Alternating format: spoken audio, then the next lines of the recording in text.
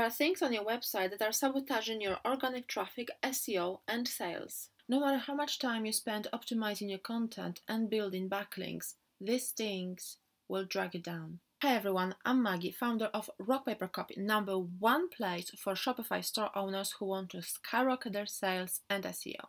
In this video, I will tell you about 11 things to remove from your website immediately if you want to boost your sales and organic traffic from Google. And if you like what you hear, remember to click the like button below and subscribe to my YouTube channel for regular SEO tips and tricks. Now let's get started. Number one, outdated content. This relates to all the blog posts and pages with content that is no longer valid. It could be blog posts that contain a date in the title, for example, best marketing strategies for 2018. As we are in 2020, this is considered outdated information. Another example could be a blog post where you talk about your collection that arrived two years ago. So, this blog post was created two years ago, but it contains links pointing to the collection that is no longer being sold that is not helpful in Google's eyes and can actually affect negatively your SEO. It can also affect your sales because people will be put off by seeing a lot of back a lot of broken links and by seeing that these products are no longer on sale. The solution is to update old content with the new information. It means checking your older blog posts and all the pages to see if all the backlinks are working either internal or external, reading through the content to see if in, all in the information is up to date. If you see that anything needs updating, you can alter the text. You can change the information, you can change the dates, you can change the collections or other products that, that you talk about in this particular blog post. What I also like to do is adding fresh content, so adding a short paragraph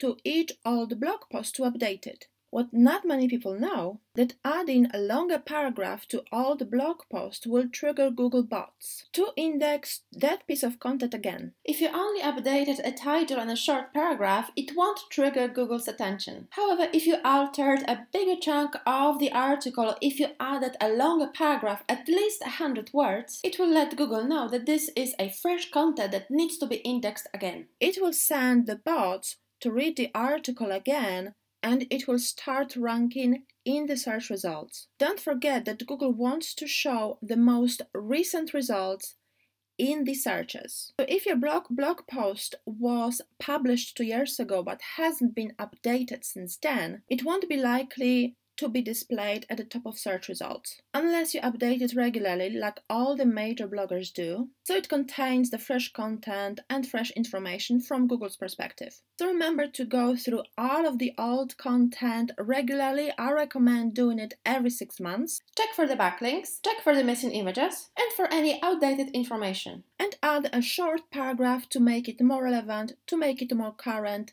and to boost the Google indexing. Number two, shipping calculated at the checkout. This is my personal peeve, and this is something I see on a continuous basis when I review Shopify stores. Shipping calculates at the checkout is a default Shopify feature that comes displayed on the product page. Even if you offer a flat rate shipping, this information will be still displayed on your product page. It can be very confusing to your visitors and can definitely affect sales. I often see is stores informing about a free shipping in a top promo bar and then displaying shipping calculated at the checkout information on the product page. When your visitors see it, they don't know if they will be charged the shipping at the last stage of the checkout or if the shipping is actually free. Remember, nobody likes bad surprises at the checkout especially that the shipping fees are such a sensitive subject. Many shoppers don't mind paying 5 or 6 dollars more for the product. However, paying extra 3 dollars for the delivery is often a deal breaker. So if you're offering flat rate shipping or a free delivery worldwide, remember to remove the shipping calculated at the checkout from the product page. I explain how to do it in the other video and I'll link to it from the description below. Number three, default Shopify refund policy. When you open a Shopify store, you often get a choice to use their own refund policy. It can be found in the policies section and it's very, very easy to add it to your store. It saves you writing your own policy, which is perfect for brand new stores. However, you might not realize that it contains information very, very confusing to your visitors and can also affect sales. It mentions items you might not be selling, such as food, flowers, newspapers, books, DVDs, VHS tapes, video games, downloadable products, and personal care items. Also, if you're selling personalized items like engraved products, you need your own unique policy. Policy that specifies whether you actually accept returns for any personalized items and also information how to return the product. If you are dropshipping, you need to follow the agreement with your supplier customers cannot return the products to your address because they were shipped by the supplier. All this information needs to be agreed beforehand and it needs to be included in the refund policy. Having a unique refund policy written for your own niche will help you protect your business and will help you protect against any negative feedback, against any unhappy customers. Many people will assume that they can return any item even if it was used or washed within 30 days and expect full refund. So unless you specify it in detail on your refund policy, people might assume that you offer a full refund for any item returned to you. You can have your refund policy written by a copywriter specializing in e-commerce laws. You can find freelancer like that on Upwork or Fiverr. As you can see, I went to fiverr.com and searched for write store policy. There's plenty of gigs on any budget that you can choose to your needs. You can also find plenty of freelancers on Upwork. Just search for Shopify store policy. Remember that you would need to create an account on Fiverr and Upwork before using their services. It doesn't have to cost a lot. It can cost you between 5 and 10 dollars for a full 500 words refund policy written for your own needs. Just make sure to instruct them what kind of information you want to be included in the policy. There are also plenty of websites helping you to write your own unique policy following the ready-made templates and you only fill out the necessary information. This is often free and will give you professional and sleek policy. You can find template to download on termsfeed.com. We'll link to it in the video description. Another thing to remember when using Shopify own policy is that you still have the duplicate content, the same content that's on thousands of other Shopify websites. It can negatively affect your SEO because, as we all know, Google doesn't like duplicate content. So remember, avoid using Shopify's own default refund policy and write your own content instead.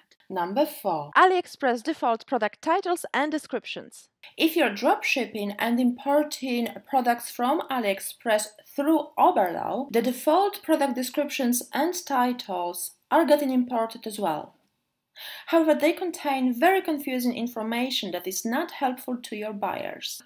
The titles are often too long, and the description is just a list of features, which is often confusing and not really helpful. What we also don't realize that the growing number of online shoppers know that they can buy directly from AliExpress. They recognize their own default descriptions and titles, and it's a giveaway sign that you are dropshipping. They might think, why won't I buy directly from AliExpress and save myself some dough? Also, having the same product descriptions as thousands of other Shopify stores meaning that there is nothing that sets you apart from other dropshippers, especially in competitive niche like fashion, watches, or beauty products. It's important to stay competitive as much as possible. Unique product descriptions is a great start. Tell about the product benefits, tell about the product features, and what kind of problems is it solving. Because people buy based on two emotions solving problem or avoiding fear.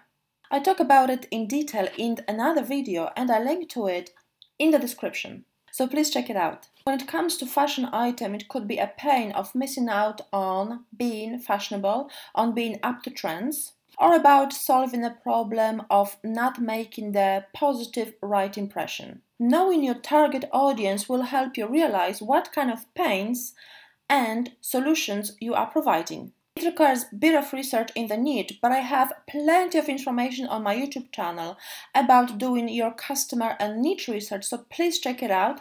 This video is a little bit too short to delve into the topic, but don't ignore a research. Storytelling is also very, very powerful when writing product descriptions. When you tell a story, it connects with the emotional part of our brain. The same part that is responsible for making decisions. That's why telling a story about your product can help you sell much more. I've got another video on how to use storytelling when writing product descriptions that sell, so make sure to check it out as well. Let's not forget that unique product descriptions and product titles can also help your SEO. Duplicate descriptions can also affect your SEO, as I mentioned with having duplicate policies. So remember to write unique product titles and product descriptions. It will not only help your SEO, it will also help you skyrocket your sales.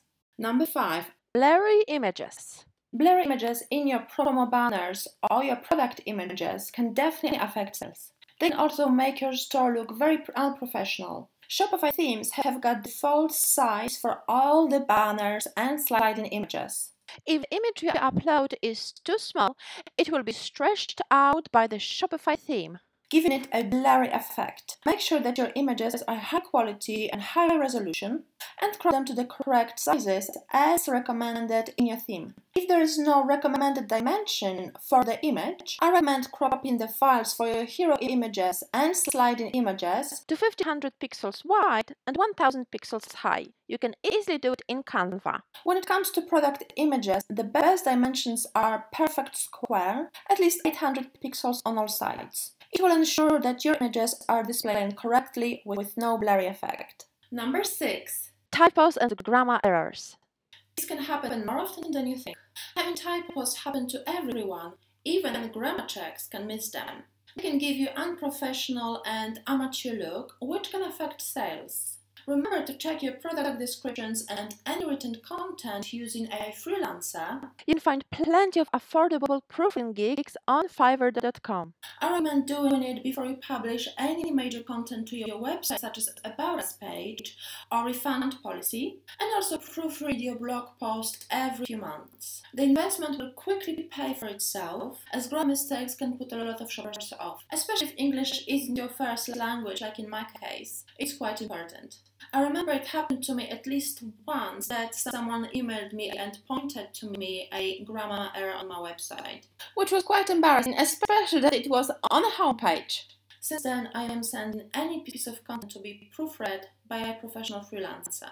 I also use grammar plugs such as Grammarly and additionally check it using Word Counter. However, these tools aren't always 100% foolproof. So remember, don't ignore it. Check your content regularly. Number 7. Generic info on About Us page. This is also a common mistake.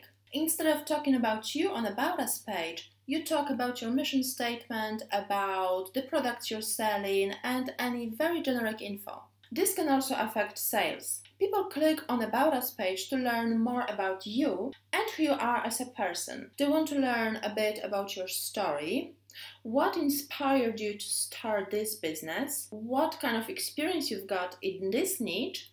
And who's in the team? Adding a photo of yourself on a Us page is a very important trust signal. Online shoppers are craving this kind of personal connection. So building rapport and trust is crucial for improving sales. People love to see who's behind the brand. It's especially important if you're creating your own products, if you're an artist, or if you're, selling handmade items. People love to see who they're buying from because this kind of backstory can add value to, to, to the product. So avoid having very generic information on About Us page and instead use it to talk about yourself. About when you started this business, what inspired you to launch this business in this particular niche? And also, what makes you authority? This is very important for niches such as health, fitness, fashion, and more. If people see that you are a fashion conscious and you are selling fashionable items, they will be much more likely to trust your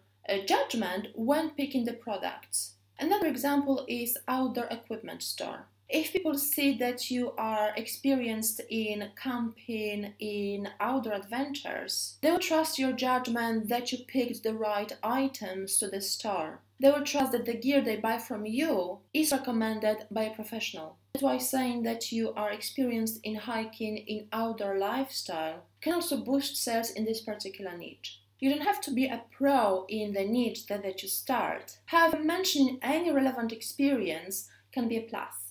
So remember, About Us page is very important for your conversion rate and it's a crucial trust signal. So make sure to add it to your store. Number 8. Content that has no purpose. I see it over and over again pretty images that are not optimized to convert. They're often not related to your store whatsoever. For example, if you're selling cycling equipment but have pictures of a garden on a homepage, while beautiful, these images don't help to improve your sales.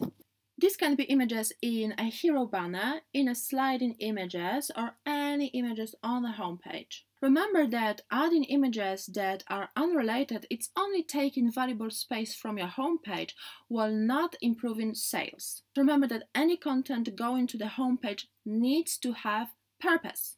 It needs to work on your conversion, it needs to improve sales. It doesn't have to be a picture of your product, but something that is closely related to your niche. So if you're selling cycling equipment, you can show a photo of someone cycling through the forest and enjoying their day. This kind of image is much more likely to resonate with your target audience and improve your sales. And remember to optimize it with a short tagline and call to action such as shop now, browse more, find out more, linking to the relevant content. So remember, if you're adding stock images, think about what kind of purpose it will have and if it's related to your niche. Number nine, partner products and affiliate products. A Shopify store can be monetized further by using affiliate program or partner program products. However, you often are left with no control over what kind of products are being shown in your store. It means that your visitors might see completely unrelated products on your own website. So, for example, if you're selling beauty products, your partner products can show home improvement items, which is quite confusing and doesn't do anything to your sales. If someone is on your website shopping for beauty products, it's unlikely that they will buy DIY home improvement tools. Remember to check the settings of the partner products and of your affiliate program so it doesn't deter visitors from your own website. Number 10 Pop ups. This is something that's been my personal P for a number of years. Large pop ups that appear on a website as you're trying to read the content. It is especially distracting on mobile when the large pop up covers the screen completely. It is super annoying. Luckily, Google now is dealing with it and considers large pop up as a bad user experience. User experience is very important for SEO. The website with multiple pop ups can actually rank lower in Google search results. Google can actually penalize you for having large pop ups on mobile that prevent your visitors to browse your content. Especially pop ups that have got a close button, very, very difficult to find, and have the most negative effect. Remember to reduce the number of pop ups, especially the ones that appear at the same time. If you want to show more than one pop up, Remember to adjust the settings so they don't appear at the same time. One can appear at the beginning of the session, and the other one can appear at the end, triggered by someone leaving the website. It's called exit intent, and it is very, very effective. So remember, reduce the number of pop ups and show only one at a time, and also minimize them on mobile. You can change the display settings of each pop up so it displays differently on bigger screen and differently on mobile. It will be much better for your SEO, for user experience, and for your sales. Number 11. Distractions on the product page. Anything that distracts your visitor from buying, so any social media icons, star rating, reviews, distract your visitor from one action they should be taking buying from you. Remember to remove anything from the product page that distract your visitor and take attention away from buying. The product page should be stripped down out of the bare essentials, especially above the fold, the area visible without scrolling down. The above the fold on your product page should contain only the key elements product title, price, variant, quantity, and add to cart button. These are the most important elements for any visitor to buy from you. Anything else is a distraction and should be either removed or displayed below fold. Also, if your add to cart is below product description, that can also affect sales. Make sure to move it at the top so it's displayed above fold. Remember, above fold area is the key for conversion on any page, especially on product page. I've got another video analyzing how to optimize your above fold area to convert better, so make sure to check it out. And remember, if you like what you hear, click the like button and subscribe to my YouTube channel. Also remember to hit the bell to get notified every time I put a new video up. Also, let me know which of these 11 points you like the most and which of them would you like to learn more about and I'll create a video on the topic. Leave a comment below to tell me on what topic should I create my next video. Please do me a great favor, like this video and subscribe to my YouTube channel for the algorithm and hit the bell to get notified every time I add new video. There's new video coming every week on Tuesdays and Fridays. Also check the other videos shown here and see even more clips on my YouTube channel. Speak with you soon, bye bye!